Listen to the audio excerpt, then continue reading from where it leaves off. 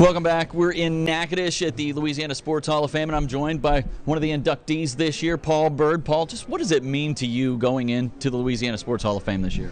As a little kid growing up in Louisville, Kentucky, I did not foresee this coming, you know. But I, I went to LSU to go to warmer weather and a baseball school, and uh, I, I, still say I carried the girl, Kim Yip, out of New Orleans. Met my wife here. I stole the girl um, won a World Series here, and uh, learned so much at LSU that propelled me in a, a, big league career. So to see these other people that I'm going in with, to see my name up on the wall, see pictures, uh, it's gotten me choked up a number of times.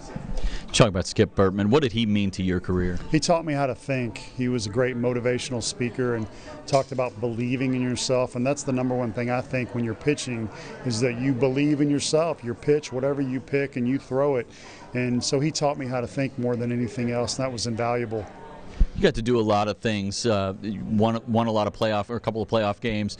Um, just what are some of the memories you have of, of playing Major League Baseball? And I, I lived a great life. You know, it's not over, but the journey was phenomenal. Uh, I wasn't the best player. I didn't throw 100 miles an hour like a Ben McDonald, but I survived through some arm surgeries. I was able to stick around.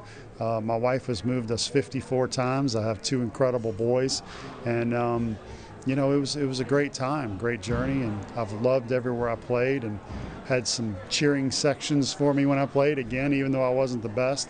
So that's kind of what stands out. I was able to make the All-Star team in '99 and uh, went over 100 games, and I'm just very thankful that I was able to get the most out of this arm that hurt a lot of times.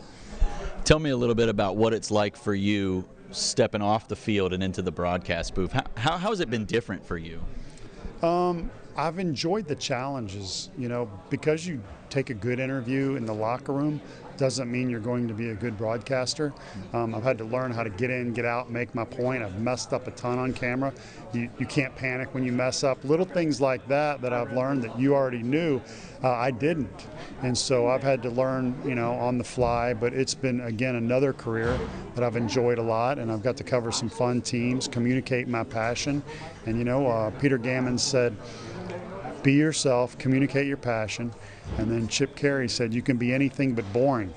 And so I remember those things and I say, okay, let's let's make sure everybody knows baseball's fun, know when to teach, know when to get out of there, be quiet, know when to be funny, and know when to um, represent a player and not try to control the interview and just uh, ask them questions that aren't leading questions that allow them to represent themselves. Paul, thank you so much for doing this and congratulations. Thank you so much. We'll be right back.